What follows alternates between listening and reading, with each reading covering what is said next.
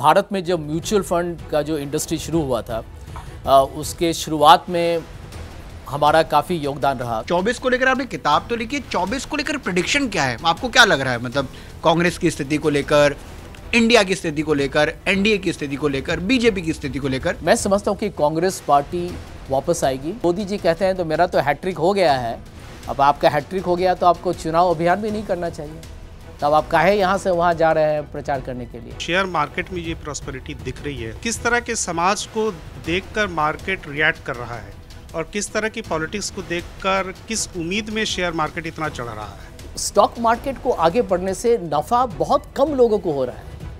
बहुत कम लोगों को। जिसे कहते हैं कि आप ज़मीन पर उतरिए लोगों के साथ जुड़िए वो सब तो राहुल गांधी के एक्शन में दिख रहा है। तो राहुल गांधी का मैसेज क्यों नहीं पहुँच रहा है लोगों तक? राहुल जी भाषण बोलते बहुत सही चीज़ हैं लेकिन मुझे लगता है कि कभी कभी उनको जब भाषण देते हैं तो थोड़ा एक एक उसमें जो कहते हैं ना कि थोड़ा फाइन पॉइंट्स को ट्यूनिंग यदि सही कर लें तो वो मीलों दूर जाएगा। पार्टी में अपना भविष्य किस प्रकार से देखते हैं कांग्रेस पार्टी में? मैं आपके सामने खुलेआम इस बात का ऐलान कर रहा हूँ। मैं न किसी पार्टी में गया पिछले चार साल में और न मैं कभी जाऊँगा। क्या आपको लगता है कि अडानी अंबानी को मोदी सरकार ज़्यादा फेवर कर रही है? चाहे अडानी अंबानी को सरकार बदलेगी वो वहाँ भी पहुँच जाएँगे। राहुल गांधी को अमेठी से और प्रियंका गांधी को रायबरेली से चुनाव लड़ना चाहिए आपके हिसाब से? बिल्कुल बिल्कुल। मैं समझता हूँ कि मैं रायबरेली अमेठी दोनों गया हूँ काफ़ी बार। आ, आप चुनाव हार गए पिछली बार हार जीत होता रहता है। आप हमें बताएँ कि बीते दस सालों में जो प्रधानमंत्री नरेंद्र मोदी का जो टेन्योर रहा है आज हमें व्हाट्सएप का कॉल करना पड़ेगा। आज हम सिग्नल में कॉल कर रहे हैं ताकि वो इनक्रिप्टेड है या फेस टाइम ऑडियो में हम बात कर रहे हैं। ये तो बताता है कि ये तो बहुत ही नकारात्मक माहौल है। आपके विचारों से कि राहुल गांधी के जो रणनीतिकार हैं जयराम रमेश एंड ऑल जो भी हैं वो शायद सही नहीं है या उनकी तरफ़ से दी जाने वाली वो सलाहें ऐसी नहीं है जो ग्राउंड तक राहुल गांधी को आम आदमी के दिल तक कनेक्ट कर दे जैसा कि मोदी जी कर पाते हैं। ऐसा बात नहीं है कि कांग्रेस पार्टी ने ढेर राज्यों में सफलता नहीं पाई हिमाचल में जीता कर्नाटका में जीता और त, और तेलंगाना में भी जीता है। परंतु इस बात को मैं स्वीकार करूँगा। एक मंदिर में इतनी ताकत है कि वो देश की अर्थव्यवस्था को बदल सके। साउथ में या वेस्ट में या नॉर्थ में जहाँ भी टेम्पल्स हैं लोग जाते हैं देखने के लिए लोग फ़ोटोज़ लेते हैं। और मैं समझता हूँ कि बिल्कुल वास्तविक है, उसमें कोई गलत बात नहीं और टूरिज़्म को बूस्ट आना चाहिए I think it's a good thing मैं बिहार का हूँ, मेरी बीवी गुजराती हैं, मेरे बच्चे फ्रेंच बहुत अच्छा बोलते हैं ओके और मेरे घर में एक जो आदमी काम करता है उत्तर प्रदेश का है, एक कोई महाराष्ट्र का है। हमारे कंपनी में कुछ लोग मुसलमान हैं, कुछ लोग सिख हैं, हर तरह के लोग हैं। तो मैं समझता हूँ कि यदि आप देखिएगा तो यही हमारी कहानी है, यही हमारा अफसाना है।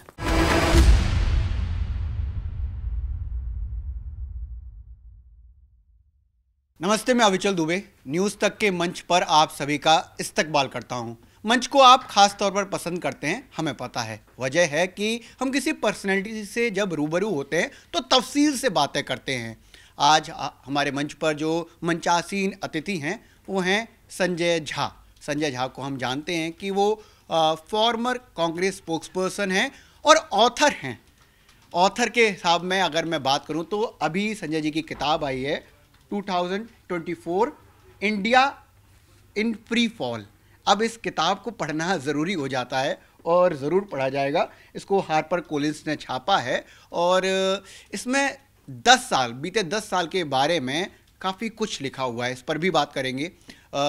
संजय झा को लेकर मैंने एक शब्द का इस्तेमाल भी किया कि फॉर्मर कांग्रेस स्पोक्स पर्सन उस पर भी बात करेंगे। और संजय जी हमारी एक रवायत है हम कोशिश करते हैं कि एक व्यक्ति को जानने के लिए पहचानने के लिए उसकी जर्नी से ही हम पूछें उनसे स्टार्ट करें। तो आप अपने बारे में हमें बताएँ ज़रूर। देखिए संक्षेप में तो मैं इतना ही कहना चाहूँगा कि आ, मैं एक इकोनॉमिक्स का ग्रेजुएट हूँ। मैं बिहार का रहने वाला हूँ, लेकिन मैं जब मैं छोटा था, उस उस समय मेरे पिताजी एक प्रोफेसर थे। तो मेरा, सच कहिए तो मेरा स्कूलिंग पूरा पूना में हुआ है। आजकल उसको लोग पुणे बोलते हैं। और उसके बाद मैंने एमबीए किया एक्सेल आर जमशेदपुर से। उसके बाद कुछ विदेशी बैंकों में मैंने काम किया A N Grindlays bank bank of America और इन्वेस्टमेंट बैंकिंग में भी मैंने काम किया हुआ है। भारत में जब म्यूचुअल फंड का जो इंडस्ट्री शुरू हुआ था उसके शुरुआत में हमारा काफ़ी योगदान रहा। तो उस समय हमने private sector mutual fund industry को शुरुआत करने में हमारा भी कुछ उसमें भूमिका था।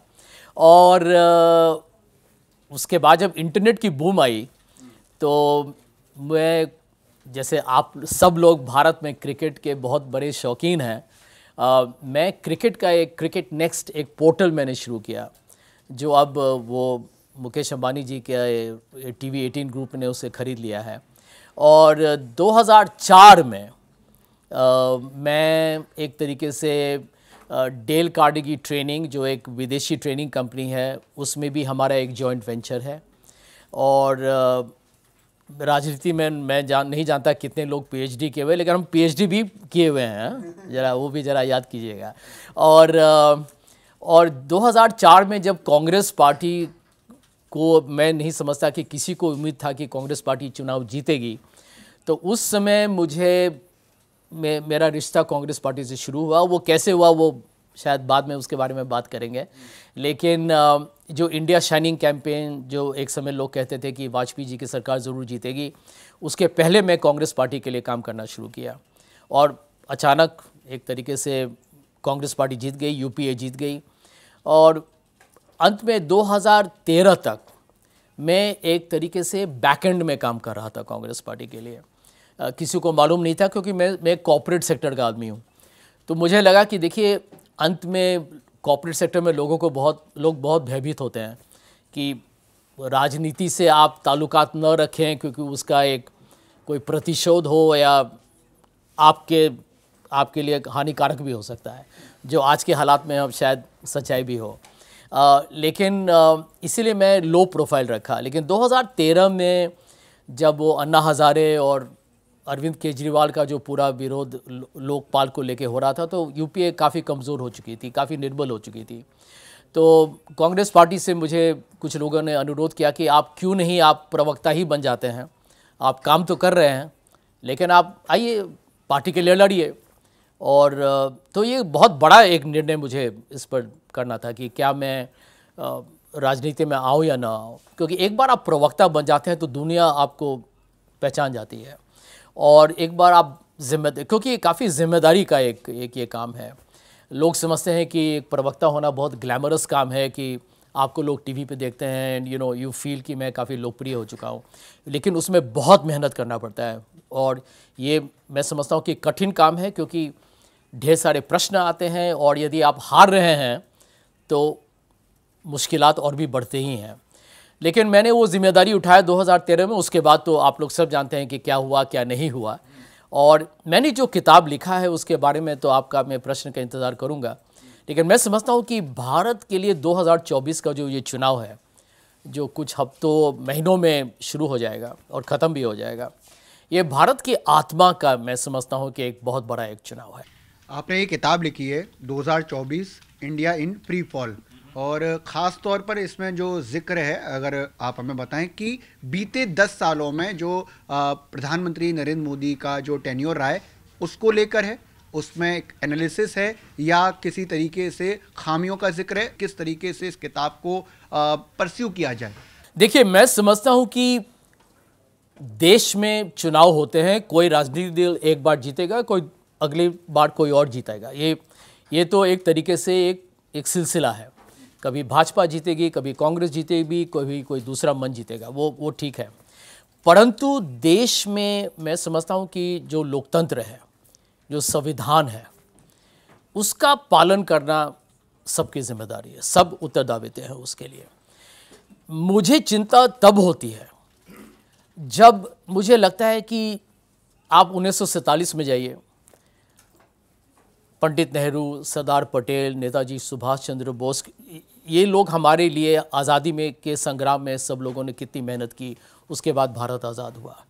क्या वो सपनों को हम साकार कर रहे हैं आज? या क्या हम क्या हम एक तरीके से जो भारत को जो होना चाहिए, क्या हम उस रास्ते पे जा रहे हैं? या हम अपने, खुद अपने ही पैर पर हम कुल्हाड़ी मार रहे हैं? क्योंकि देखिए, मैं समझता हूँ कि ये देश जो है, इसके बारे में, दुनिया भर में जो हमारे बारे में जो लोगों को एक तरीके से लगता है कि भारत क्यों इतना खूबसूरत देश है, क्योंकि हमारे अंदर एक डाइवर्सिटी है। आप चले जाइए कर्नाटक, आप चले जाइए तमिलनाडु तो वहाँ पर आपको एक दूसरा एक एक संस्कृति या संस्कार दिखेगा। आप बंगाल जाइए, आसाम जाइए, आप कश्मीर जाइए आप गुजरात जाइए, महाराष्ट्र जाइए, हर जगह खाने का, बोलने का, भाषा, हर चीज़ अलग अलग है। और ये अलग अलग होना ही भारत को एक महान देश बनाता है। बहुत लोग कहते हैं कि Bharat is like Europe Europe में 28 उनतीस देश हैं। हमारे यहाँ उतने राज्य हैं। और आप कहीं भी चले जाइए, मैं मैं बिहार का हूँ। मेरी बीवी गुजराती हैं। मेरे बच्चे फ्रेंच बहुत अच्छा बोलते हैं।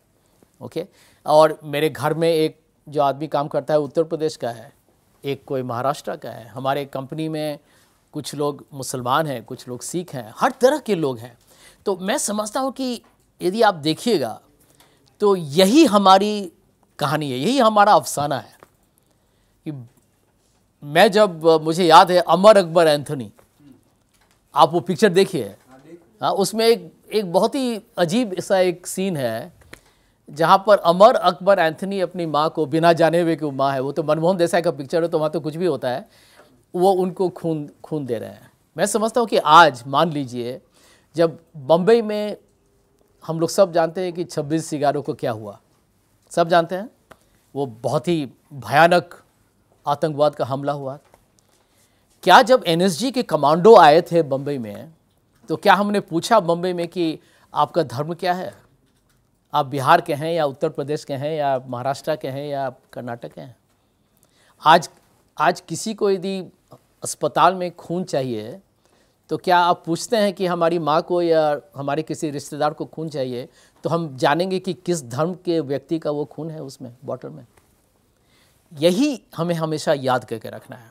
मैं समझता हूँ कि भाषण देना, हर राजनेता भाषण देने में नंबर वन होता है। लेकिन भाषण से राशन नहीं मिलता है लोगों को। भाषण से मैं समझता हूँ कि लोग गुमराह हो जाते हैं। भाषण से लोग उत्तेजित हो जाते हैं। भाषण से एक तरीके से लोगों का नज़रिया बदला जाता है। लेकिन सच्चाई सच्चाई होता है।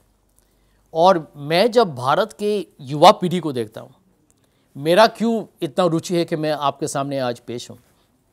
क्योंकि मेरे भी बच्चे काफ़ी यंग हैं। और मैं चाहता हूँ कि वो एक तरीके से ऐसे भारत में रहें, जहाँ किसी को डर न हो कि वो किसके बारे में क्या कह रहा है। आज यदि किसी को किसी नेता का निंदा करना हो, या किसी सरकार के बारे में आप किसी चीज़ से आप नाखुश हो या नाराज़ हो तो आप खुलेआम बोले, उसमें डर क्यों? यदि हम प्रजातंत्र हैं तो प्रजातंत्र का मतलब क्या होता है? कि आज़ादी से हम रहें, आज़ादी से हम बोले। लेकिन यदि आज हमें व्हाट्सएप का कॉल करना पड़ेगा, आज हम सिग्नल में कॉल कर रहे हैं ताकि वो इनक्रिप्टेड है, या फेस टाइम ऑडियो में हम बात कर रहे हैं, ये तो बताता है कि ये तो बहुत ही नकारात्मक माहौल है।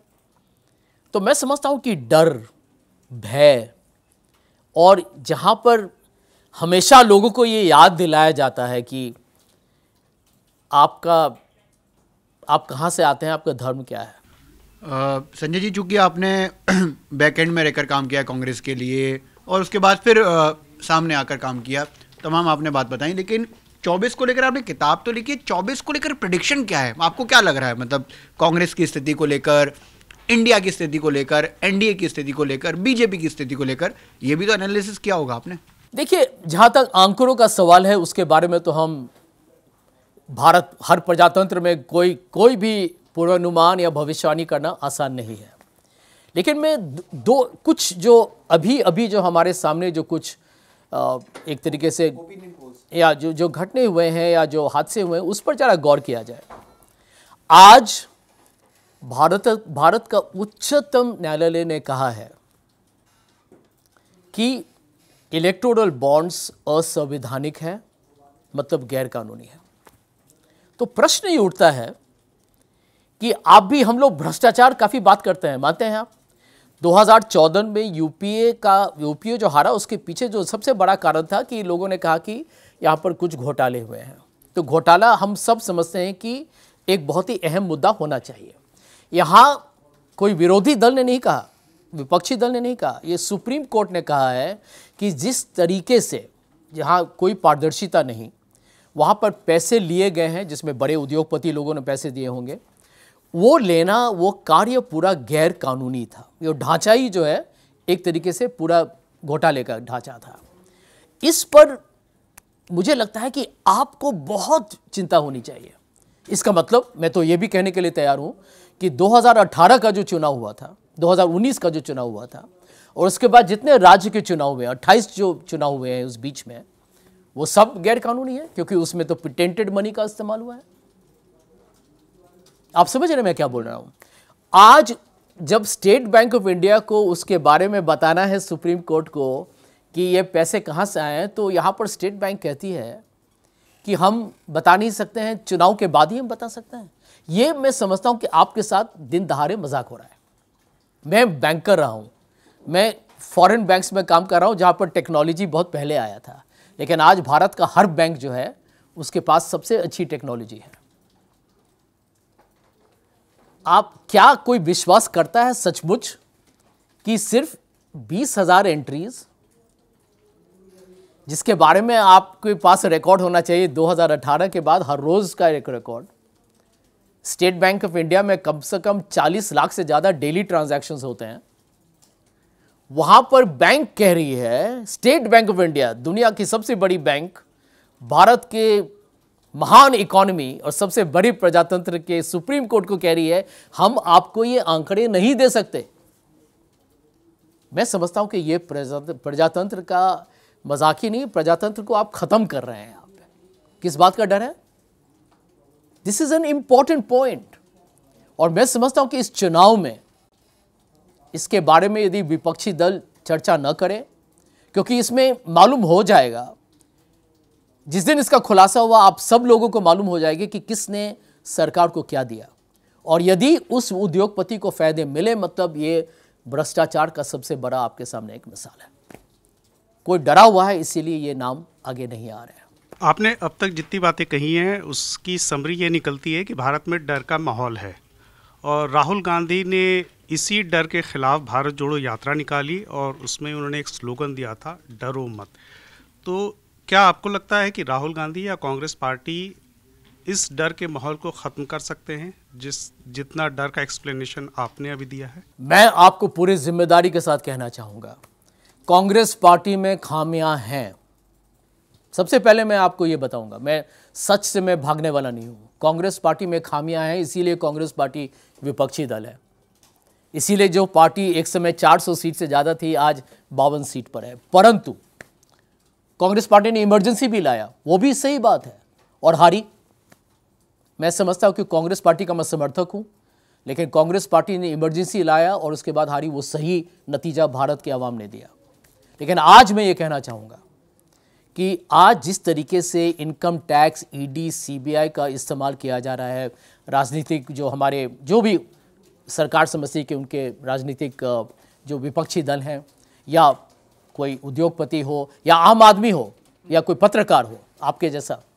मैं समझता हूँ कि कांग्रेस पार्टी वापस आएगी और मैंने भी ये सलाह दिया हुआ है कि आप मैनिफेस्टो में भी लिखिए कि ये बिल्कुल बंद हो जाएगा ज़ीरो कि कोई पत्रकार, चाहे वो ऐसा कोई टीवी चैनल हो या कोई डिजिटल प्लेटफॉर्म हो जो सरकार के विरुद्ध हो, जो आपके विरुद्ध हो, जिसका विचारधारा आपसे अलग हो सकता है।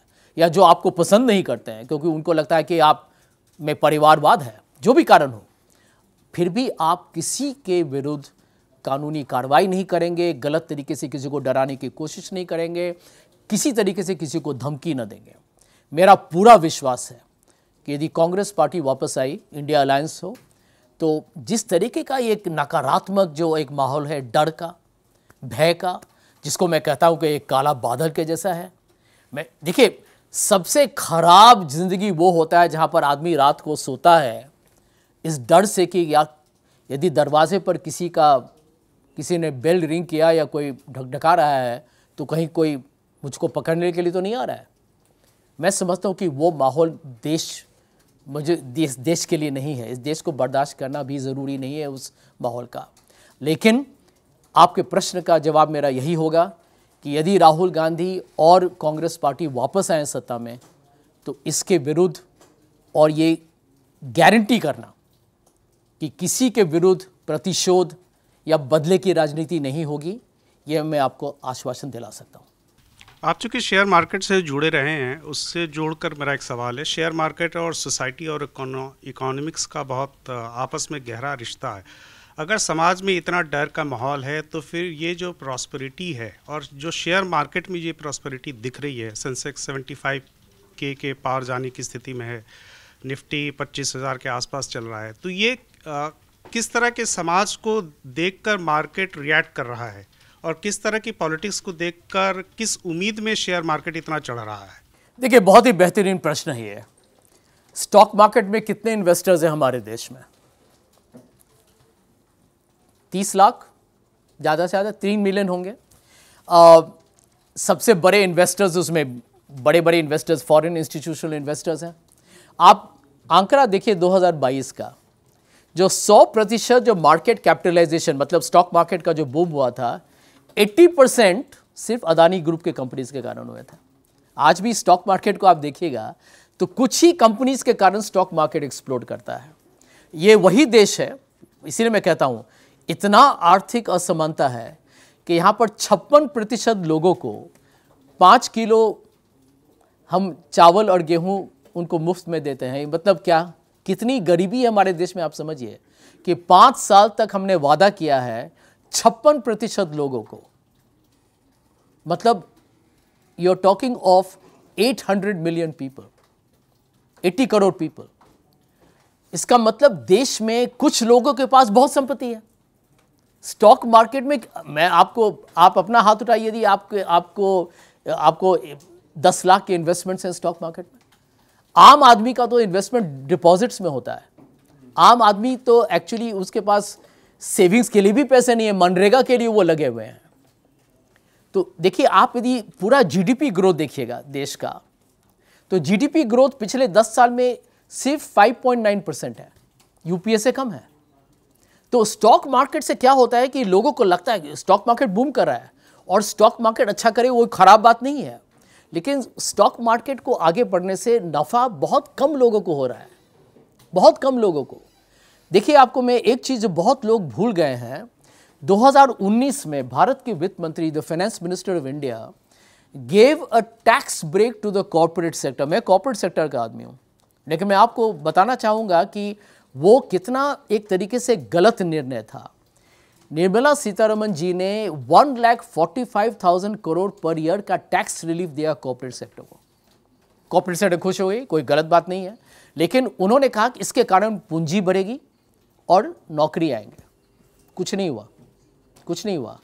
One lakh forty five thousand crore को आप पाँच से गुना कीजिए तो लगभग आठ लाख करोड़ का खर्च चला गया है। वो टैक्स जो सरकार के पास आता जो आम आदमी पर खर्च होना चाहिए था वो नहीं हुआ है।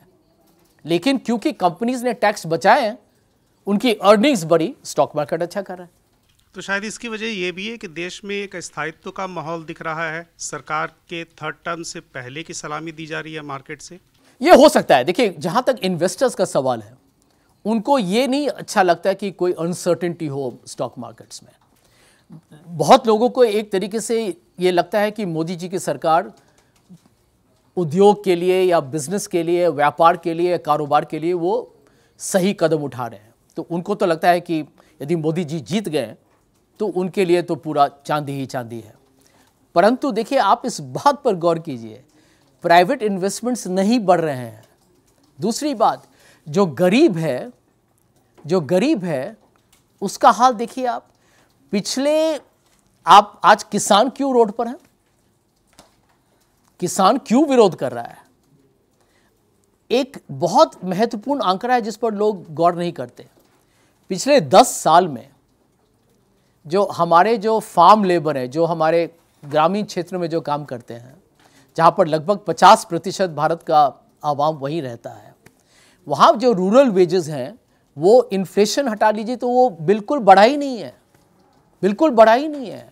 डीमोनेटाइजेशन या नोटबंदी के बाद छोटे बिजनेसेस छोटे का, कारोबार बिल्कुल नष्ट हो चुके हैं। तो मैं समझता हूँ कि देश जो है ना अभी एक तरीके से कुछ लोग बहुत अमीर हो गए हैं जो S U V Swiggy avocado on toast वो जो एक एलिट जो एक कल्चर है जहाँ पर है कि चलिए हम आज बुराटा चीज़ के साथ टमाटो और टोस्ट खाएँगे वो ठीक चल रहा है। उस पर कोई जो लोग जिनको लगता है कि अभी छुट्टी हुआ तो निकल जाए बैंकॉक। वो एक एक तरीके का एक एक लेवल है जहाँ पर लोग बहुत खुश हैं मोदी जी की सरकार के साथ। लेकिन यदि मिडिल क्लास को देखिएगा मिडिल क्लास के लिए ऑयल का दाम बढ़ा। मिडिल क्लास को पूछिए एलपीजी कितना आप पे कर रहे हैं? मिडिल क्लास को पूछे कि आपका आमदनी एक्चुअली कितना बढ़ा है पिछले दस साल में। आप क्या, आप अपना भी, आप अपना भी आकलन करके देखिए कितना बढ़ा है या कितना कम हुआ है। और सबसे बड़ी बात, जो कमज़ोर लोग हैं किसान the poor the new middle class वहाँ पर मैं समझता हूँ कि ज़िंदगी नहीं बदली है। इसी कारण है कि इसके बावजूद कि मोदी जी कहते हैं तो मेरा तो हैट्रिक हो गया है, अब आपका हैट्रिक हो गया तो आपको चुनाव अभियान भी नहीं करना चाहिए। तब आप काहे यहाँ से वहाँ जा रहे हैं प्रचार करने के लिए? इसीलिए लोग घबरते हैं, क्योंकि देखिए, अंत में भारत बड़ा देश है, यहाँ की समस्याएँ बहुत ही पेचीदा हैं और उसका उसका, उनका क्या निर्णय होगा? इस पर कोई कोई भी एक तरीके से जो कहते हैं ना, उतना कॉन्फिडेंस या आत्मविश्वास के साथ ये नहीं कह सकता है कि उसका नतीजा या अंजाम क्या होगा। संजय जी, थोड़ी आदर्शवादी बात लग रही है जो आप कह रहे हैं। प्रैक्टिकल व्यवहारिकता उसमें थोड़ी कम है, आदर्श थोड़ा ज़्यादा है, उसकी वजह मैं बता रहा हूँ कि थोड़े से आंकड़े दूँगा, आप तो आंकड़ों के माहिर ही हैं। 2009 के चुनाव में जब यूपीए ने सरकार बनाई थी, कांग्रेस पार्टी को लोकसभा चुनाव में वोट मिला था तकरीबन 12 करोड़ और बीजेपी को मिला था तकरीबन 8 करोड़। 2014 में बीजेपी ने सरकार बनाई, कांग्रेस पार्टी का वोट 12 करोड़ से 11 करोड़ और बीजेपी का वोट 8 करोड़ से 17 करोड़। 2019 में बीजेपी ने सरकार बनाई, कांग्रेस पार्टी का वोट वही 11 करोड़ और बीजेपी 17 करोड़ से 23 करोड़। इसमें ज़्यादातर हिस्सा युवा वोटर का है। हर साल हमारे देश में पाँच सात करोड़ नया वोटर जुड़ता है। वो हर बार जुड़ता है और ऐसा लगता है कि वो बीजेपी के पास चला जाता है। वो सब अट्ठारह साल के युवा होते हैं। आप कह रहे हैं कि आपको युवाओं से बहुत उम्मीद है। ज़ाहिर तौर पे हम सबको है। तो बीजेपी ऐसी कौन सी मुगली घुट्टी उन युवाओं को पहना पिला रही है जिन्हें वो धर्म की विसंगतियाँ नहीं दिखती हैं, जिन्हें वो दरवाज़ों के पीछे छुपे हुए डर नहीं दिखते हैं, जिन्हें वो बेरोज़गारी नहीं दिखती है, कुछ नज़र नहीं आता है। देखिए, सही प्रश्न है। ये मानना पड़ेगा कि भाजपा सफल हुई है, उनकी राजनीति का जो भी उनका जैसे भी वो तैयार करते हैं, जैसे भी वो प्रचार करते हैं, उसमें बहुत सफल हुए हैं। मैं यही कहना चाहता हूँ कि देखिए, युवाओं ने, कांग्रेस पार्टी इस बात को भूल गई कि इतिहास जो है, लोग भूल जाते हैं। गांधी, नेहरू नेहरू ने किस तरीके से आईआईटी आईएम्स बनाए, मिसेस गांधी ने कैसे सचमुच उनका जो बैंक नेशनलाइजेशन था, जिसके बारे में उसमें बहुत लोगों ने निंदा की, लेकिन बाद में हमने देखा कि बहुत सही कदम था। राजीव गांधी ने ऑटोमेशन लाया टेलीकॉम लाया। ये आज की युवा पीढ़ी शायद उनको याद नहीं होगा, और मैं उन पर उन, मैं मैं समझता हूँ क्यों? क्योंकि लोग 24 घंटे का तो दिन है। सब लोग मेहनत करते हैं अपनी ज़िंदगी बनाने के लिए। लेकिन आज मैं समझता हूँ कि भाजपा और मोदी जी ने जो भी वादे किए, जो भी बड़े बड़े वादे किए, उस पर वो मैं समझता हूँ कि सही निकले नहीं। देखिए, काला धन इस देश से गया नहीं। यहाँ पर तो आप इलेक्टोरल बॉन्ड का घोटाला की बात कर रहे हैं। कहाँ गया वो काला धन, जो पंद्रह लाख लाने वाले थे आप? हाँ? देखिए, इस देश में हमने एक नया, एक रिसर्च रिपोर्ट पढ़ा। 25 साल से नीचे जो ग्रेजुएट्स हैं उसमें लगभग 42 परसेंट लोगों के पास नौकरी नहीं है। लेकिन लोगों पर लोगों को ये बताया जाता है कि देखिए नहीं आप जो भी कर रहे हैं आप सेल्फ एम्प्लॉयड बन जाइए आपको मुद्रा लोन मिल जाएगा। कितनों को मिला है? कितने लोग आ, कितने लोग खुद अपने पैर पर खड़े हैं? सच कही तो नहीं हो रहा है। मैं समझता हूँ कि मोदी जी और भाजपा कहाँ सफल हुए हैं। कि उन्होंने लोगों को एक तरीके से हमेशा कोई ना कोई कहानी सुनाया है जो लोगों को सुनने में अच्छा लगता है। एक तो है कि हम पहली बार देश जब हम बाहर जाते हैं तो हमें लगता है कि हम बहुत ही मज़बूत हो गए हैं, हमारा हमारा इज़्ज़त लोग ज़्यादा करते हैं। मैं तो काफ़ी साल से गया हूँ, कभी भी मुझे ऐसा नहीं लगा कि कोई हम भारतीय हैं तो हमारे पासपोर्ट को देखे लोग कहे कि यार आप कहाँ से आए हो? भारत तो मैं समझता हूँ कि हमेशा से बहुत प्रगति की। हम, हमारा साइंस और टेक्नोलॉजी देखिएगा सिलिकॉन वैली में जितने लोग बैठे हुए हैं, क्या अभी के इंजीनियर हैं? आप जितने बड़े कंपनीज़ आज भी देखिए इन्फोसिस या विप्रो को देखिए तो या क्या अभी अभी के यूनिकॉर्न से ये तो बहुत पहले से हैं। तो मैं समझता हूँ कि एक तरीके से कांग्रेस की जो कमज़ोरी हुई है, देखिए पॉलिटिक्स में यदि कोई कमज़ोर होता है तो दूसरा मज़बूत दिखने लगता है। कांग्रेस की कमज़ोरी के कारण भाजपा ज़्यादा मज़बूत दिखने लगी। समझ गए आप? कि देखिए, विकल्प यदि आप सही तरीके से अपना जो भी आपका सोच है, नज़रिया है, घोषणा पत्र है, या आपका जो भी सपना है भारत के लिए, यदि आप सही तरीके से जनता को नहीं बताइएगा तो लोगों को लगेगा कि हम बदलाव कहाँ करें? जो है वही ठीक है, चलने दीजिए। आप समझ रहे हैं? तो लोग ये कहेंगे कि हमारे पास नौकरी नहीं है, लेकिन आपने क्या किया था? तो एक जो कहते हैं पूरा डायलॉग बदल जाता, संवाद बदल जाता है। तो मैं समझता हूँ कि मोदी जी का जो प्रचार रहा है या भाजपा का जो सोशल मीडिया आउटरीच रहा है वो बहुत ही सफल रहा है। कांग्रेस पार्टी पार्टी की जो गलती हुई और यहाँ पर राहुल जी को भी काफ़ी इसके लिए ज़िम्मेदारी लेना होगा कि जिस जिस तरीके से जनता के बीच में जाके आपको और बातचीत करनी थी। तो क्या एक कम्युनिकेटर के तौर पे राहुल गांधी आ, आ, एक सफल नेता नहीं है क्या? क्योंकि राहुल गांधी ने एक यात्रा की 2023 में बहुत कश्मीर से लेकर कन्याकुमारी तक उन्होंने पैदल चल के नाप दिया। यात्राओं का तो लंबा इतिहास है, महात्मा गांधी से लेकर चंद्रशेखर से लेकर आज के नेताओं में जगन मोहन रेड्डी तक। तो अब वो फिर यात्रा कर रहे हैं और पूर्व से पश्चिम तक का भारत नाप रहे हैं। तो वो तो जिसे कहते हैं कि आप ज़मीन पर उतरिए, लोगों के साथ जुड़िए, वो सब तो राहुल गांधी के एक्शन में दिख रहा है। तो राहुल गांधी का मैसेज क्यों नहीं पहुँच रहा है लोगों तक? देखिए, आजकल के ज़माने में जब आप भाषण दे रहे हैं या जो अभी आप कह रहे हैं, आपको संक्षेप में अपना केंद्र बिंदु बताना पड़ेगा। मैं समझता हूँ कि जो लोग राहुल जी को सलाह दे रहे हैं, उनको इस बात पर गौर करना चाहिए कि देखिए, आपको जो पब्लिक सोच रही है, देखिए, आप अंत में आवाम के बीच में क्यों जाते हैं, ताकि आप उनके जो भी मुश्किलात हैं या परेशानी है, उसको आप, उसका समाधान आप बताना चाहते हैं कि मैं ये करूँगा आपके लिए।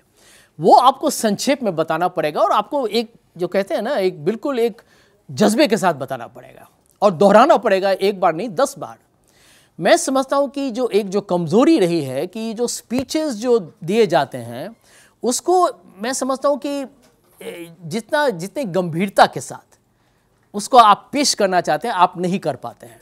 आप दिल से बोल रहे हैं, वो अच्छी बात है। मंशा आपका सही है, नियत आपका सही है। आप बोलना भी जो कह, आप जो कह भी रहे हैं, वो भी सही है। लेकिन जिस तरीके से आप इस बात को आगे करते हैं, लोगों में, लोग वो बात समझ नहीं पाते हैं कि आप सचमुच कहना क्या चाहते हैं। तो एक तरीके से देखिए, आजकल सबके सामने वक्त कम है। लोग यहाँ पर हम लोग मोबाइल पर आधे घंटे, कभी यहाँ, कभी वहाँ। देखिए, ज़िंदगी तो इतने रफ्तार में बढ़ रही है सबके पास इतना, इतनी ज़िम्मेदारी है, राइट? हमारे पास वक्त कम है। तो आपको छोटे वक्त में बताना पड़ेगा कि मैं कहना क्या चाहता हूँ।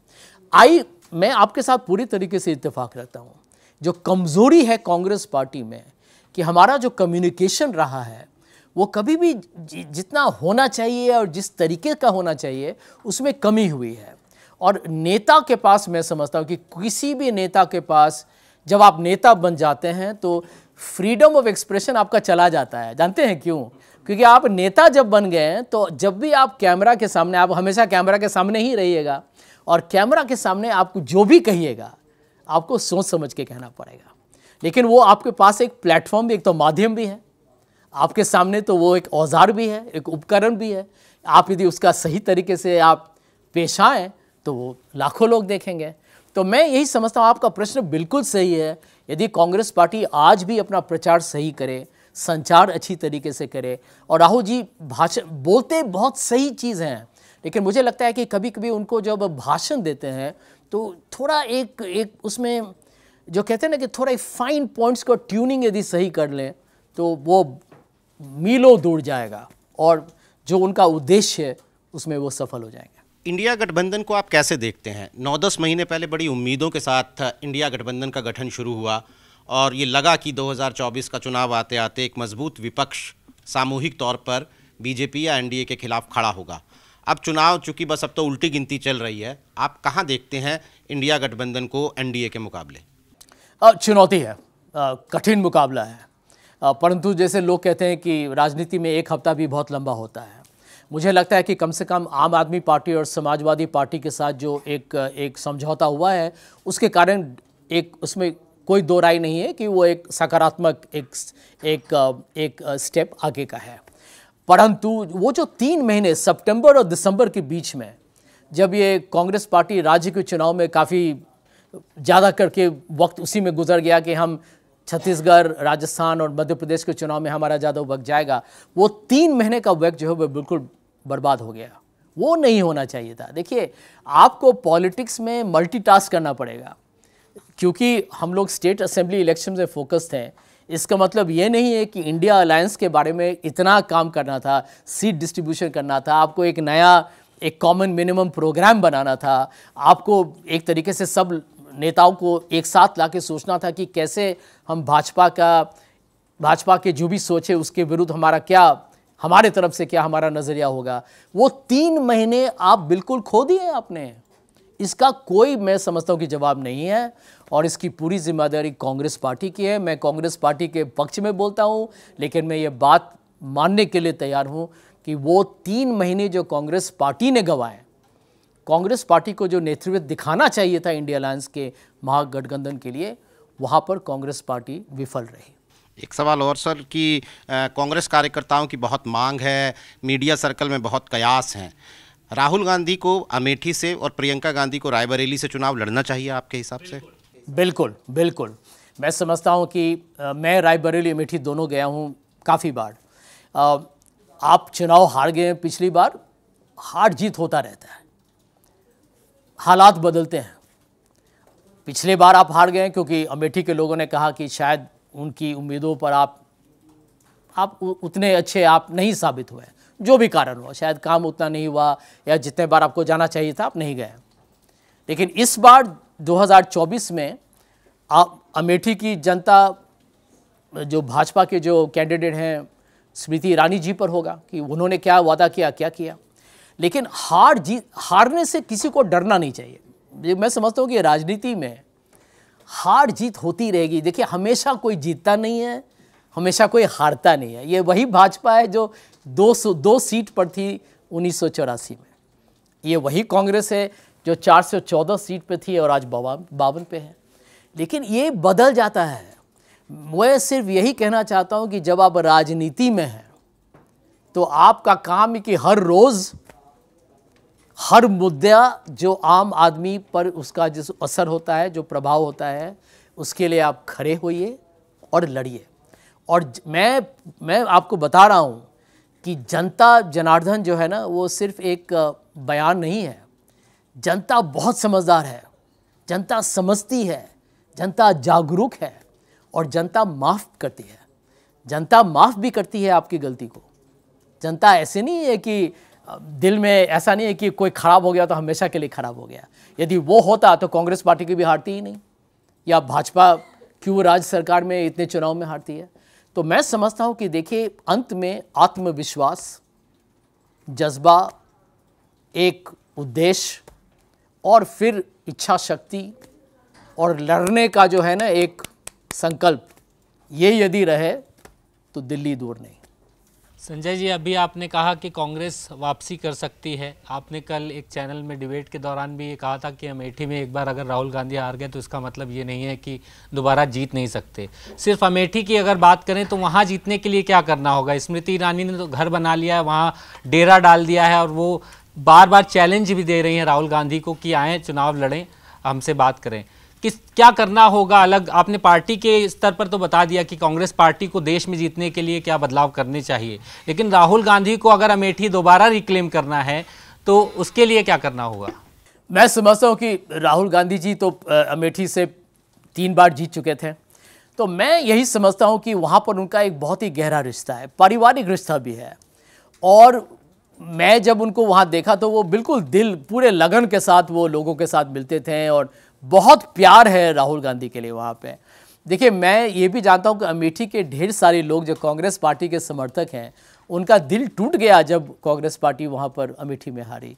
तो देखिए, मैं इसीलिए इस बात को कहना चाहूँगी, राहुल गांधी जी को वहाँ जाना चाहिए अमेठी में और कहना चाहिए कि देखिए, मैं शायद आपके अपेक्षाओं तक मैं काम नहीं कर पाया पिछले चुनाव में। लेकिन मेरा भी ये वादा है कि जो काम मैं शायद शुरू किया और ख़त्म नहीं कर पाया, मैं इस बार ज़रूर कोशिश करूँगा कि मैं ये कर पाऊँ।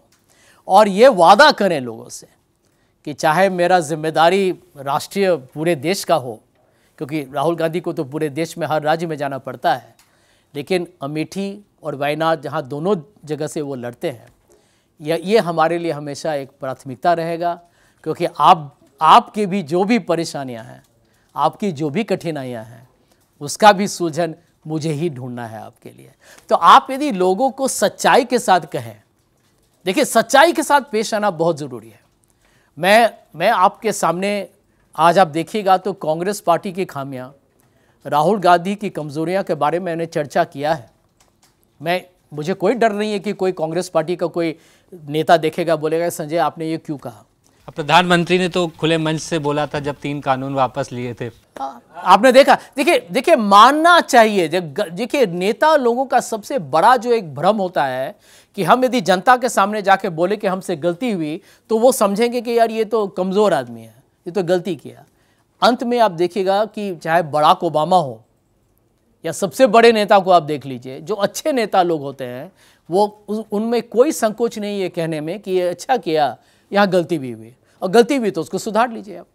संजय जी, एक और सवाल है मेरा। आपने जब सरकार के काम पर बात की तो आपने ये भी कहा कि जनता की इनकम किस तरह से बढ़ी है, ये भी देखना चाहिए। लेकिन अगर आजकल की बात करें, जो इकॉनमी को लेकर आंकड़े आ रहे हैं, पिछले क्वार्टर का डेटा आपने देखा होगा 8.4 परसेंट। इसके अलावा भी क्रिसिल की एक रिपोर्ट आई है, उसके अनुसार जो इस वित्त वर्ष में, अगले वित्त वर्ष में जो जीडीपी ग्रोथ का अनुमान है, वो 6.8 परसेंट का है। इसी रिपोर्ट में ये भी कहा गया है कि अगले सात सालों में 2025 से 31 के बीच में 6.7 की जीडीपी ग्रोथ रहेगी और जो इनकम है भारत के लोगों की जो इनकम है, वो निम्न मध्यम वर्ग से बढ़कर उच्च मध्यम वर्ग में आने वाली है। तो ये तो सरकार का काम ही होगा जिसके आधार पर ये एजेंसियाँ ये कह रही हैं कि इतनी ग्रोथ एक्सपेक्टेड है। भारत दुनिया की सबसे तेज़ बढ़ने वाली अर्थव्यवस्था रहेगी। अभी भी पाँच बड़ी अर्थव्यवस्थाओं में शामिल है। तो जो बातें आप कह रहे हैं, उसका आधार क्या है? देखिए, यदि इस सरकार के प्रचार पर जाइएगा तो देश में गरीबी ही नहीं है। मोदी जी की सरकार तो कहती है कि यहाँ गरीबी ही नहीं है, पाँच परसेंट लोग गरीब हैं। यदि सरकार से पूछेगा तो मैं तो कहता हूँ कि इन आंकड़ों को, को भी मैं चुनौती देना दे, देने वाला हूँ। देखिए अंत में पिछले दस साल में अच्छे दिन अच्छे दिन तो अब कोई बोलता ही नहीं है। कोई नहीं बोलता है अच्छे दिन। भूल गए हैं सब लोग। क्योंकि पिछले दस साल में जो आपका जीडीपी का जो औसत है आपका वो सिर्फ़ छः परसेंट से एक परसेंट कम ही है फाइव पॉइंट नाइन परसेंट है। यूपीए के वक्त में सेवन पॉइंट एट परसेंट था। सेवन पॉइंट एट परसेंट था। और 2014 में जब मोदी जी प्रधानमंत्री बने यूपीए का growth rate six point four था, जो आज से भी ऊपर है, लेकिन वो 6.4 के लिए लोगों ने यूपीए को हरा दिया। प्रचार और प्रोपागेंडा बहुत ही अहम है राजनीति में। दूसरी बात, हम किसने वादा किया था किसानों से 2017 में कि आपकी आमदनी दुगनी हो जाएगी? 2022 आके चली गई। देखिए, जब आप किसान से आप झूठ बोल सकते हैं, तब तो आप किसी से झूठ बोल सकते हैं। आपने कहा था दो करोड़ नौकरी आएगी। क्यों बोला था दो करोड़ नौकरी? दो करोड़ नौकरी लाना डॉन के शब्दों में मुश्किल ही नहीं, नामुमकिन है। आपने फिर डॉन बनने की कोशिश की, क्यों बने आप? लेकिन आपने लोगों को एक तरीके से आप सपनों का सौदागर बन गए आप। ये राजनेता का काम नहीं है। आपको ज़िम्मेदारी के साथ पेश आना होगा। तीसरी बात, देखिए, अंत में अंत में जीडीपी ग्रोथ मतलब क्या? जीडीपी ग्रोथ मतलब हो सकता है कि पाँच बड़े उद्योगपति का कंपनी बड़ा हो जाए जीडीपी बढ़ जाएगा। लेकिन पर कैपिटा इनकम तो ग्रोथ होता है। जीडीपी नहीं, आप पर कैपिटा इनकम को देखिए, उसके बारे में प्रधानमंत्री एक शब्द नहीं बोलेंगे, क्योंकि पर कैपिटा इनकम में भारत का रैंकिंग 140 है। आप ह्यूमन डेवलपमेंट इंडेक्स को देखिए, जहाँ पर शिक्षा और और स्वास्थ्य को लेके देखिए वी आर एट 150 ये कैसे? अब आप देखिएगा कि भारत, हमारे देश में शिक्षा should be free Arvind Kejriwal Aam Aadmi party के जितने लोग उनका निंदा कर लें, लेकिन मैं उनकी प्रशंसा करता हूँ कि उन्होंने कोशिश की कि क्या आपका आमदनी जो भी हो, मैं आपके लिए ये फ्री करके रखूँगा, क्योंकि ये एसेंशियल है। आप समझ रहे हैं? देखिए, अंत में जो आंकड़े आपने बताए हैं मैं भी भारतीय हूँ मैं चाहता हूँ कि भारत अच्छा करे, चाहे मोदी जी प्रधानमंत्री रहे या कोई भी प्रधानमंत्री रहे। लेकिन इन्होंने जो किया है, इन्होंने आंकड़ों के साथ भी थोड़ा एक फुटबॉल खेला है। एक कहीं गोल मार दिया, जब, जहाँ भी मनो वहीं गोल मार दिया। अब अब इलेक्शन आ रहा है तो जीडीपी आठ परसेंट हो गया। अब मैं as a economist I will tell you कि आप यदि देखेंगे तो नेट टैक्सेस यदि जीवीए ग्रॉस वैल्यू एडेड जो देखिएगा, वो साढ़े छः परसेंट का है। और जीडीपी साढ़े एट पॉइंट थ्री परसेंट का है, क्योंकि आपके नेट टैक्सेस जो हैं लेस सब्सिडीज वो बहुत बड़ा परसेंटेज है उसमें। आप समझ रहे मैं क्या बोल रहा हूँ? तो आंकड़ों को तो ऐसे ही बदला जाता है। यशवंत सिन्हा जो वित्त मंत्री थे वाजपेयी जी के सरकार में, उन्होंने तो सार्वजनिक तरीके से कहा कि मोदी जी का जीडीपी दो परसेंट बढ़ गया। अब ये मैं समझता हूँ कि आम आदमी का आप इज़्ज़त करें। ये काहे भूल जाते हैं कि मैं इकोनॉमिक्स का स्टूडेंट हूँ, लेकिन सब पढ़ता है अखबार। सब लोग ये भी पढ़ते हैं कि विपक्षी दलों ने कहा कि आंकड़े सही नहीं है। लेकिन अब एक सरकार के पास देखिए मशीनरी होता है। सोशल मीडिया है अब प्रधानमंत्री जो भी बोलेंगे वो हेडलाइन तो होगा ही। तो हेडलाइन में बोल दिए कि अब मेरा तो ये बढ़ गया तो वही बढ़ गया। अब प्रधानमंत्री कहते रहते हैं कि will be the fifth largest economy तो क्या बड़ी बात है? इतना बड़ा देश है। हम लोग को तो बनना ही है। मैं आपको बताना चाहूँगा कि आज इस कमरे में जो भी आप सब लोग, हम में से कोई एक आदमी, कोई एक महिला, कोई भी हम लोग में से कोई एक नौजवान बन जाए प्रधानमंत्री भारत फिफ्थ लार्जेस्ट इकोनॉमी बन के रहेगा। कोई रोक नहीं सकता है उसको। लेकिन गलती क्या होती है जब लोग कहते हैं कि हम ही ने बनाया है ये इकोनॉमी इसका मैं आपको एग्ज़ाम्पल दूँगा। एक क्रिकेट मैच हो रहा है। ठीक है? भारत को 200 रन बनाने हैं क्रिकेट मैच जीतने के लिए। 200 रन। रोहित शर्मा 50 रन बनाए। 50 हो गया। शुभनम गिल 30 रन बनाए। 80 हो गया। जायसवाल ने 20 रन बनाए 100 हो गया। विराट कोहली ने 60 रन बनाए 160 हो गया।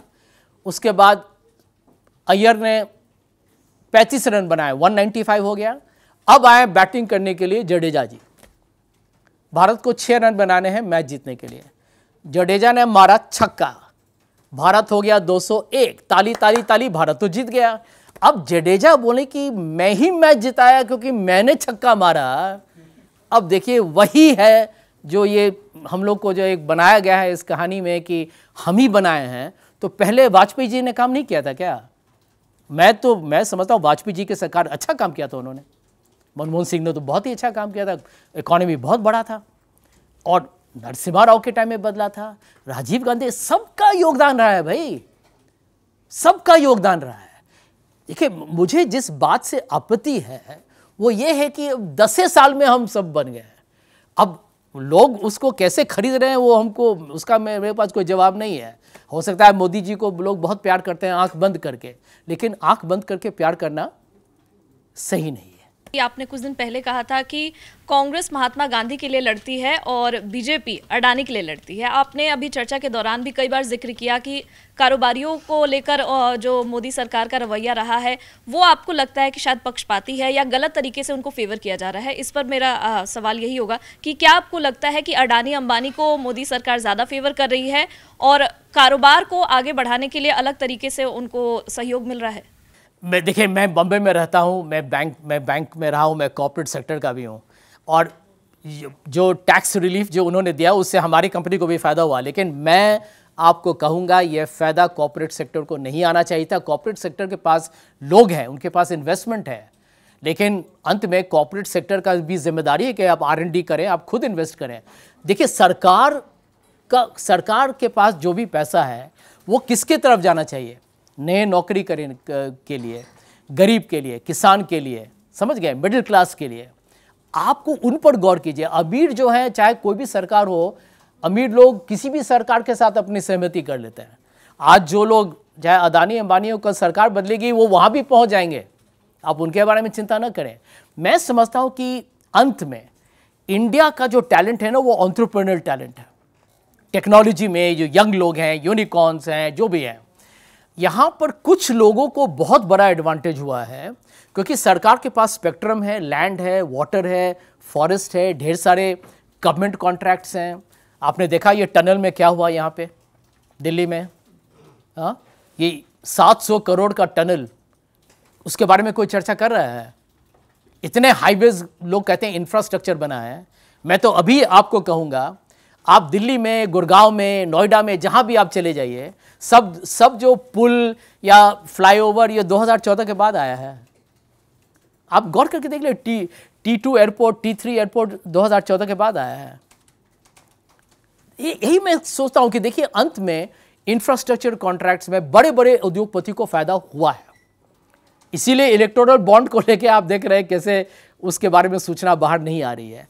लेकिन मैं ये भी मानने के लिए तैयार हूँ कि जो मोदी की, मोदी जी की सरकार ने जो जीएसटी लाया था, जो कांग्रेस पार्टी ने जिसका निर्माण और आर्किटेक्चर लाया, लेकिन मोदी जी की सरकार ने उसको लागू किया अच्छा काम है। वो इंसॉल्वेंसी एंड बैंक्रप्सी कोड जो लाया, जिसे कंपनीज़ जो एक तरीके से जिनका कारोबार बर्बाद हो जाता है, उसके उन कारोबार को कैसे बेचा जाए ताकि बैंक के लोन को वापस किया जाए, वो भी सही काम है। देखिए, मैं यहाँ सिर्फ़ निंदा करने के लिए नहीं आया हूँ, लेकिन मैं ये बात ज़रूर कहने वाला हूँ और पूरे ज़िम्मेदारी के साथ मैं कहने वाला हूँ कि भारत को इस दस साल में और आगे होना चाहिए था। भारत को इस दस साल में और मज़बूत होना चाहिए था। भारत को इस दस साल में और मैं समझता हूँ कि जो वितरण होता है डिस्ट्रीब्यूशन ऑफ़ इनकम उसमें जो हमारे गरीब हैं, उनको और अमीर होना चाहिए था। मैं समझता हूँ कि हमारी युवाओं को और नौकरी होनी चाहिए थी। हमारे किसान को विरोध करने के लिए किसी की किसी का परमिशन लेने के लिए रोड पर उनको सात महीने तक लड़ना पड़े, वो सही बात नहीं था। कितने लोग ही जाने भी गए वहाँ पे। तो मैं समझता हूँ कि इस देश का भविष्य उज्जवल है, परंतु जिस तरीके का राजनीति हमारे देश में है, इसको बदलना पड़ेगा। और मैं समझता हूँ कि यदि कोई राजनीतिक दल को भी बदलना पड़े, सरकार को भी बदलना पड़े तो क्यों नहीं? जी सर एक और पैराडॉक्स की बात आ, मैं करना चाहूँगी। यहाँ पर जीडीपी के आंकड़े भी बताए गए थे और जितने ग्लोबल ब्रोकरेज फर्म्स हैं वो भी काफ़ी ज़्यादा बुलिश है भारत पर। लेकिन वहीं हमारे बिस्तक की टीम से आ, बात हुई थी पूर्व आरबीआई गवर्नर रघुराम राजन जी आए थे हमारे शो पर। तो उन्होंने मेल न्यूट्रिशन की चर्चा की थी कुपोषण। और उन्होंने कहा था कि भारत जैसे देश में जहाँ हम एक तरफ़ विकास की बात कर रहे हैं इतने बड़े बड़े आंकड़ों की बात कर रहे हैं वहाँ पर कई सारे ऐसे लोग हैं जो कुपोषित हैं तो सरकार किस तरीके से मतलब ग्रोथ की बात कर सकती है जब कुपोषण जैसी समस्या को अभी तक नहीं खत्म किया जा सका है भारत से? बिल्कुल। आप देखिए ना कि भविष्य भविष्य क्या, बच्चों, बच्चे ही ना भविष्य बनाएँगे है उनके लिए क्या चाहिए? एजुकेशन एंड हेल्थ अब आप रघुराम रघुराम राजन जी तो बहुत ही बहुत ही जो कहते हैं दिग्गज एक अर्थ, अर्थशास्त्री हैं। आप भारत के स्टंटेड वेस्टेड और मेल नरिश्ड का डेटा देखिए 30 पैंतीस परसेंट, बत्तीस परसेंट, उन्नीस परसेंट। यदि हमारे बच्चों को खाना नहीं मिलता है, उनके स्वास्थ्य या उनकी शिक्षा के लिए हम काफ़ी नहीं कर रहे हैं तो क्या बन, हम क्या भारत का निर्माण कर रहे हैं? यही प्रश्न है। मैं समझता हूँ कि देखिए, आज हमारा मेहनत होना चाहिए कि हम भविष्य बनाएँ। आप लोग युवा हैं, आपसे मैं एक प्रश्न पूछना चाहूँगा। कितने नेता हैं हमारे देश में जो क्लाइमेट चेंज के बारे में बात करते हैं? हर हर राज, हर राजनेता सिर्फ़ one election cycle to another election पाँच साल के लिए लड़ता है। Climate change is a challenge for the future कोई कोई बात नहीं कर रहा है। Mental illness is a big challenge for the young generation कौन बात करता है? इसीलिए मैं कहता हूँ कि आप लोग जरा इन विषयों पर गौर कीजिए। क्योंकि यदि आप ऐसे प्रश्न पूछेंगे तो आपको वही नेता मिलेगा जो आप डिजर्व करते हैं। संजय जी मेरे एक सहयोगी हैं सोशल मीडिया टीम में काम करते हैं उनका नाम है केशव उन्होंने एक अपना सवाल मैसेज किया है। आ, क्योंकि एक बड़ा तबका कांग्रेस से जुड़ा हुआ है इस देश का और चिंतित है कि कांग्रेस आगे कांग्रेस का भविष्य क्या होने वाला है। और आप भी कांग्रेस पार्टी से जुड़े रहे हैं फ़िलहाल आप पार्टी में सक्रिय नहीं हैं सस्पेंडेड हैं पार्टी से। तो उनका पूछना है आ, आप इस पार्टी में अपना भविष्य किस प्रकार से देखते हैं कांग्रेस पार्टी में? देखिए मैं मैं विचारधारा का आदमी हूँ। जब मैं, मैंने कुछ प्रश्न पूछे थे कांग्रेस पार्टी से, कुछ लोग नाखुश हो गए, मुझे निलंबित कर दिया। लेकिन मैं, मेरा पूरा विश्वास है कि भारत का संविधान जो है it represents the idea of India धर्मनिरपेक्ष, जिसको बोलने भी भी आज को लोग हिचकिचा जाते हैं। But we are a proud secular country it's a liberal country प्रगतिशील देश है प्रोग्रेसिव का ब्यूटिफुल कंट्री मुझे लगता है कि भारत का संविधान और लोकतंत्र कांग्रेस पार्टी की विचारधारा में है। मैं मैं मैं आपके सामने खुलेआम इस बात का ऐलान कर रहा हूँ। मैं न किसी पार्टी में गया पिछले चार साल में और न मैं कभी जाऊँगा।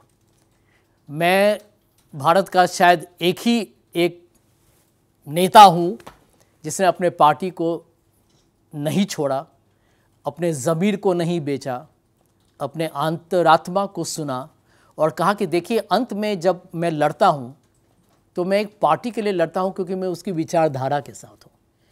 मैंने किसी को कहा था, किसी शो में, कि जब कांग्रेस का पार्टी के लोग जाते हैं भाजपा में मतलब वही है जो आदमी एक दिन डलाई लामा को प्रार्थना करे और अगले दिन डोनाल्ड ट्रंप का प्रार्थना करे। ये तो बहुत ही अलग एक स्विच हो गया। तो मैं यही कहूँगा कि देखिए, दुनिया में ढेर सारे आपको टेम्पटेशंस मिलेंगे कि यहाँ चले जाओ तो आपको एक सीट मिल जाएगा या राज्यसभा में चले जाओगे। क्या वही आपकी ज़िंदगी का लक्ष्य है क्या? देखिए, मैं अपने आप को बहुत प्रिविलेज समझता हूँ कि मैं इंग्लिश मीडियम स्कूल एक कॉन्वेंट स्कूल में मैं पढ़ा।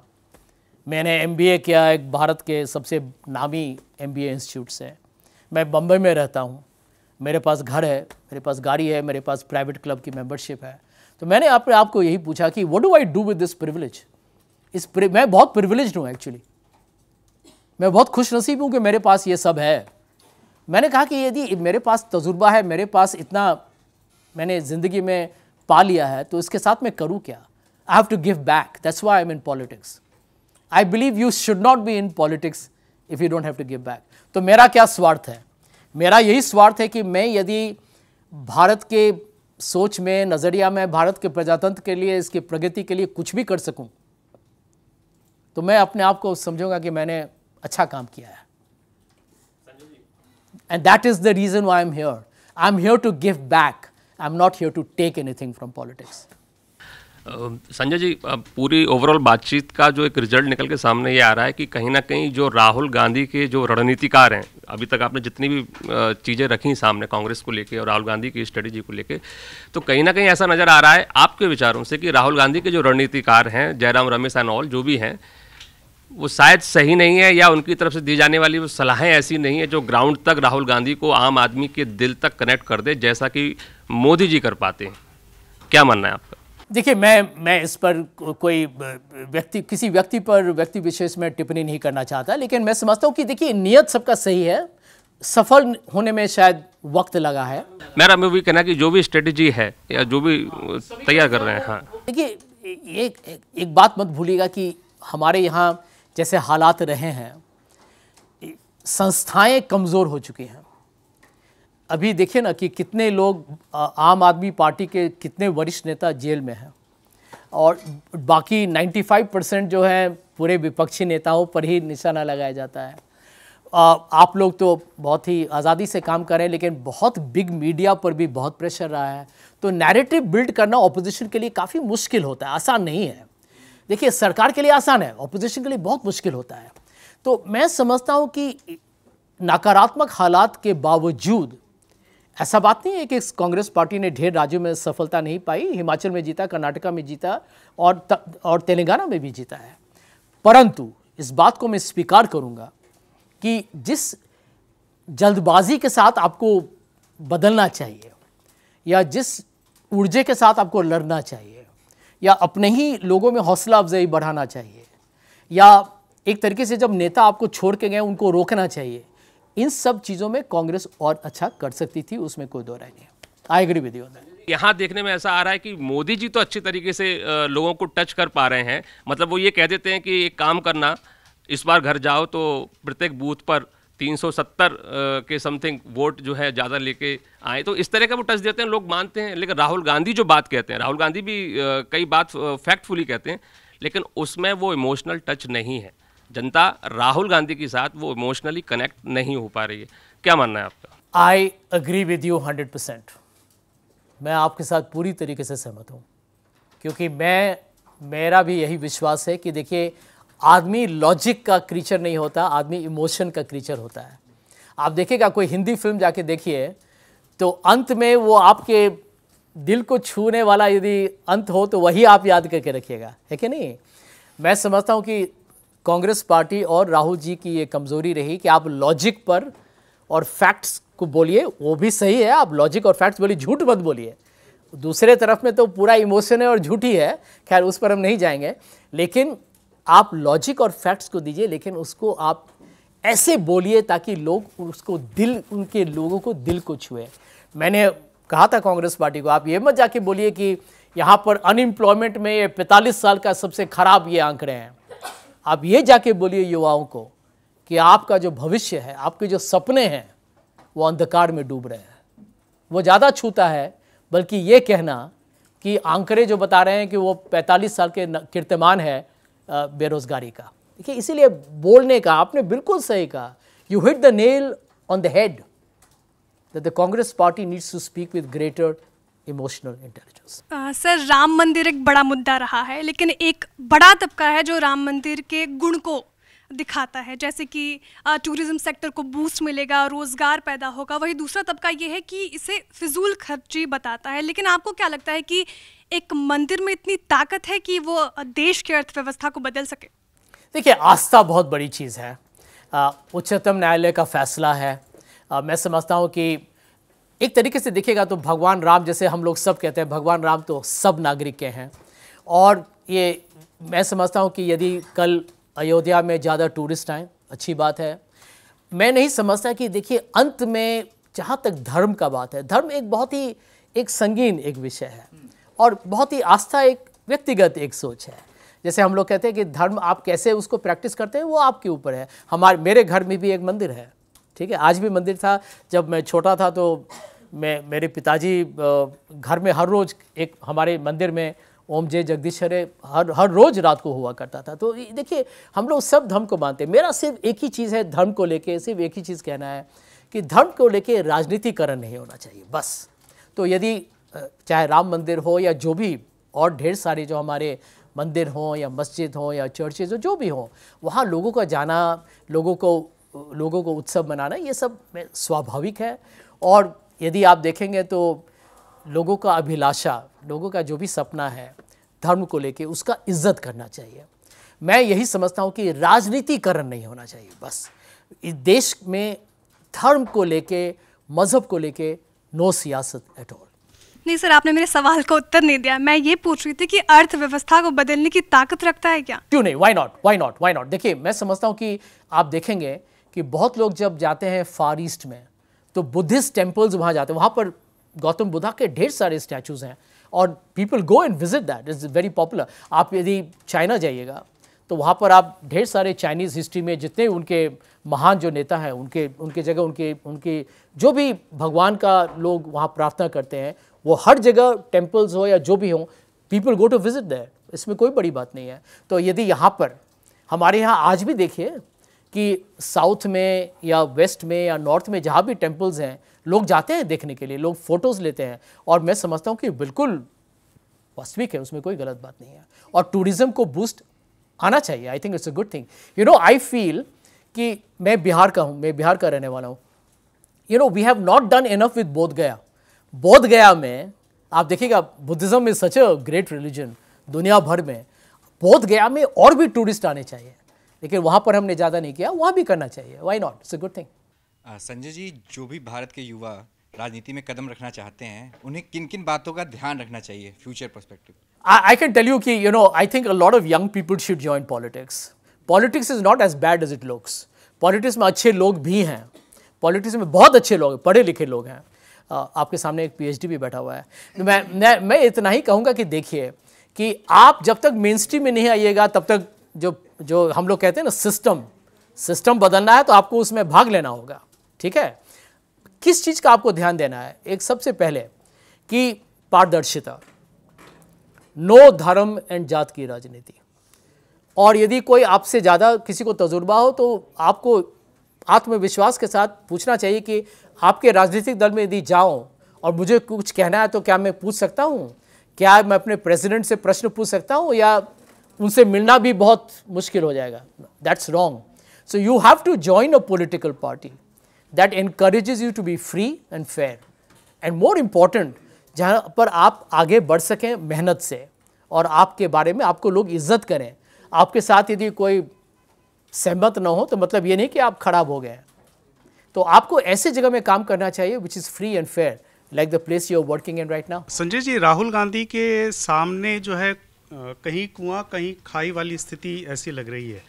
जब राहुल गांधी चुनाव के समय में फ़ील्ड में नहीं होते, तब ये सवाल उठता है कि वो फ़ील्ड में नहीं है। अब वो फ़ील्ड में है, तब सवाल उठ रहा है कि उनको दिल्ली में रहकर बटालियन को संभालना चाहिए था। मैं प्रशांत किशोर के एक बयान की का ज़िक्र कर रहा हूँ। तो ये जो उहापो है राहुल गांधी के सामने इसका कोई सोल्यूशन है क्या? इतने सारे एडवाइजर्स इतने सारे एडवाइजर्स उसी में फंस गए क्या वो राहुल गांधी? नहीं, देखिए, हमेशा एक ये दुविधा या कश्मकश होती है किसी भी राजनेता के लिए कि कहाँ तक फ़ील्ड में रहे, कहाँ तक दिल्ली में रहे।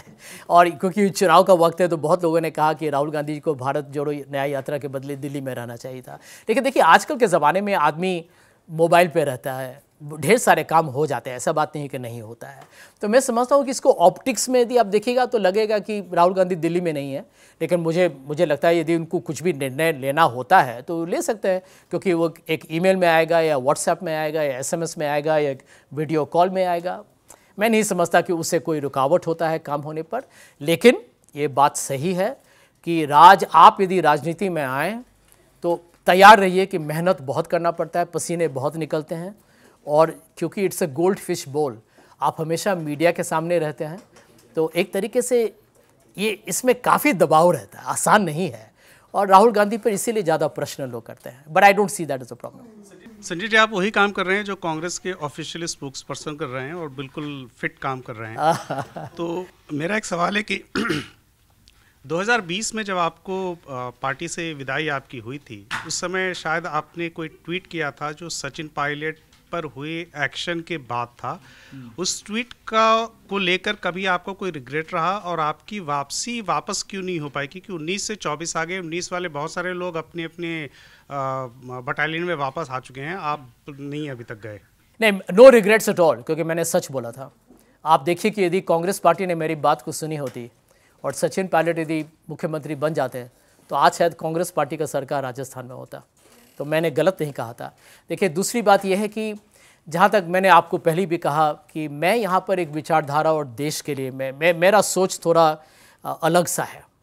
और इसीलिए मेरा एक अजीबोगरीब एक हालात है कि मैं कांग्रेस पार्टी के लिए लड़ता भी हूँ मैं निलंबित भी हूँ मुझे किसी और पार्टी में जाना भी नहीं है और मैं आपके लिए और सबके लिए लड़ूँगा। मैं मैं समझता हूँ कि it is very odd that I am the exception because her politician should be like like me Why should you leave a party सबको तो जो भी पॉलिटिक्स में है उसको आपके लिए लड़ना है उसको अपने लिए अपने फ़ायदे के लिए नहीं लड़ना है तो यदि आज मैं एक्सेप्शन हूँ that is unfortunate I wish there are more people like me who stay in a party forever. I'm never leaving the Congress party. And I think the Congress party, मैं मैं मजाक में कहा था Congress party and I are in a very intimate live-in relationship. We, we are like, we can't do with each other, we can't do without each other. आपका experience मंच पर कैसा रहा? ये आप ज़रूर बताएँ। Oh, it's been fantastic. सबसे पहले तो मैं आपको धन्यवाद देना चाहूँगा। Big thank you for being a wonderful audience आप लोगों ने बहुत ही मैं मैं समझता हूँ कि बहुत सही प्रश्न पूछे। वो ऐसे प्रश्न जो उचित हैं। सबके लिए आपने अपने बारे में नहीं पूछा आपने देश के बारे में पूछा। और मैं समझता हूँ कि देखिए, सबसे बड़ा जो हमारे सामने ये इस देश में हम रहते हैं, ये हमारी खुशनसीबी है। बहुत ही महान देश है ये। ये देश, इस देश में जब गांधी जी के बारे में आप जाइए, कहीं भी जाइए, गांधी जी का आपको वहाँ स्टैचू मिलेगा। कहीं भी आप जाइए, किसी भी देश में, हम हम, हमें इतना गर्व होना चाहिए। मुझे याद है, मेरी पॉलिटिक्स में कैसी शुरू हुई, यही अंत में बताना चाहूँगा। मैं फर्गसन कॉलेज में था और मेरे ही कैंपस में गांधी फ़िल्म की शूटिंग हो रही थी। और मैं पहली बार जब मैं I was a student of Fergusson college Poona और मैं गया शूटिंग में रिचर्ड एटनबरो का फ़िल्म था Gandhi it won eight Oscars और मैंने वहाँ पर गांधी को पहली बार देखा in the in the face of Ben Kingsley who won the best actor award and I said I am so lucky to live in this great country कि यहाँ पर फॉरेनर्स आए हैं. उस समय फॉरेनर्स आते थे तो हमको लगता था कि ये कौन है? Foreigners were coming to make a story an in Indian that won eight Oscar awards, and everybody said, from Barack Obama, Martin Lut- Luther King Jr., Nelson Mandela सब लोगों ने कहा कि हमें प्रेरणा मिला महात्मा गांधी से तो आज हम सब लोगों को अपने अपना सर जो कहते हैं ना सर बिल्कुल गर्व के साथ उठा के कहना चाहिए हम ऐसे देश में रहते हैं जहाँ पर हमारे हमारे यहाँ एक समय एक नेता हुआ करते थे एक प्रेरणा हुआ करते थे spiritual soul of this country Mahatma Gandhi thank you बहुत बहुत धन्यवाद आप, अपना बेशकीमती समय लेकर आए और आपने इतना वक्त दिया। उसके लिए बहुत सारा धन्यवाद, संजय जी।